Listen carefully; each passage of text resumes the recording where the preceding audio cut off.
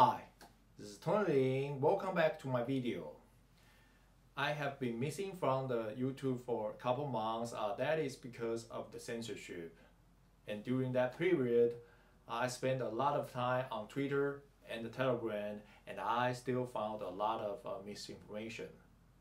So as a truth teller, I have a responsibility to uh, debunk this information and share the truth with each of you.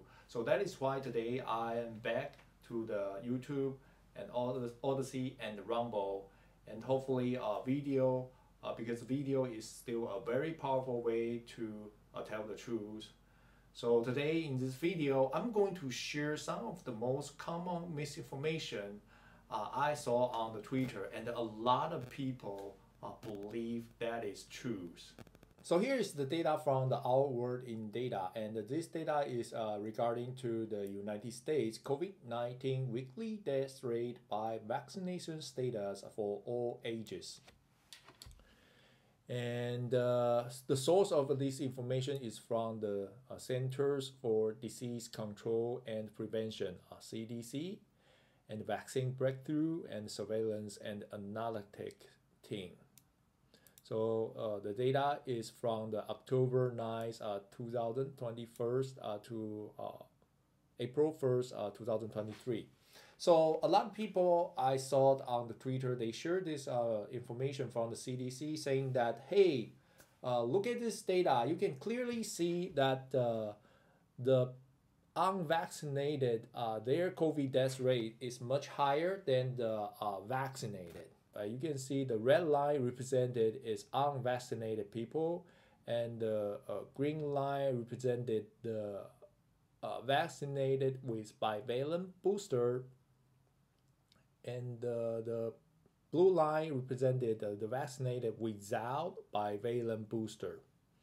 So clearly uh, the uh, if you look at the y-axis, uh, the number is higher, represented more COVID uh, death rate.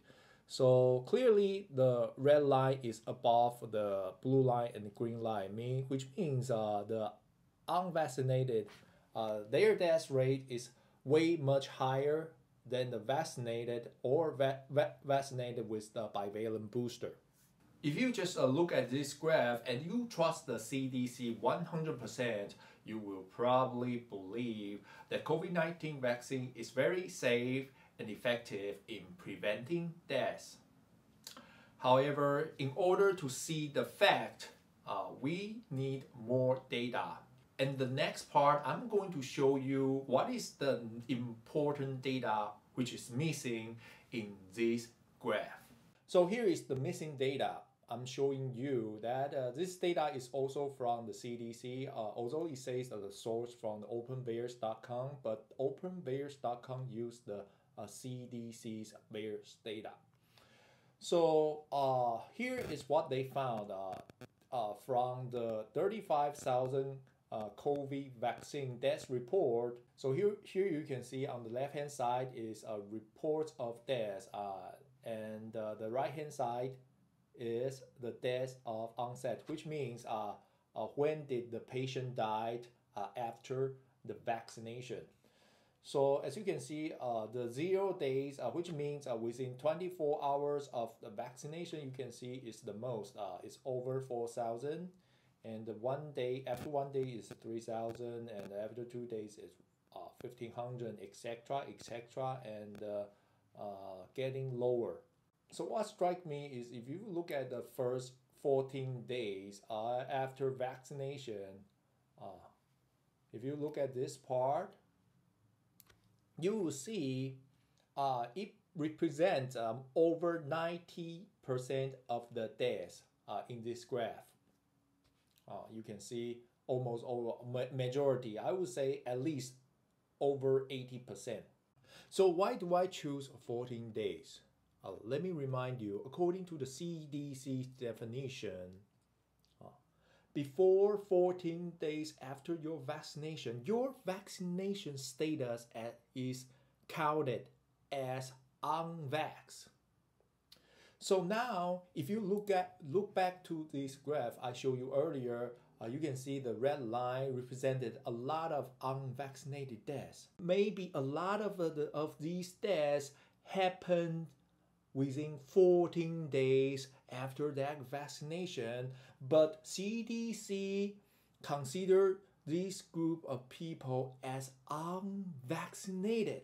If their data is reliable, and you could see a lot of uh, people they died within 14 days after vaccination and their vaccination status according to the cdc is unvaxxed and here i'm going to present you another piece of evidence. That is the evidence cdc overcounted covid deaths. This is uh, i didn't make this up. According to the New York Times article, uh, this published on July 17, 2023, the article titled A Positive COVID Milestone. And as usual, I'll include the link for you so you can look up this article. And according to this article, if you scroll down, Here it says the official number is probably an exaggeration because it includes some people who had virus when they died even though it was not the underlying cause of the death. Other CDC data suggests that almost one third of official recent COVID deaths have fallen into this category. So during the pandemic, CDC overcounted COVID deaths by including the suicide and the car accident deaths, as long as these people they tested positive, uh, CDC will include these people as COVID deaths. If you look back to this graph, imagine if CDC, their VAERS data is reliable and correct, and a lot of people, a lot of uh, vaccination deaths happen on the so-called their so-called unvaccinated people. And CDC also overcounted COVID deaths by including people uh, they died within 14 days after vaccination. Their state, their vaccination status is unvaxxed. But as long as these people they are tested positive, then we would see this red line here. That is why uh, I think this graph is misrepresented. So there you go. When next time you see this misinformation posted on the social media, you can help to reduce the misinformation by pointing out this data is actually flawed. So yeah, hopefully by um, sharing this video, we can also reduce the misinformation. Thank you for watching today's video. Have amazing day and I'll see you soon, hopefully on the YouTube again.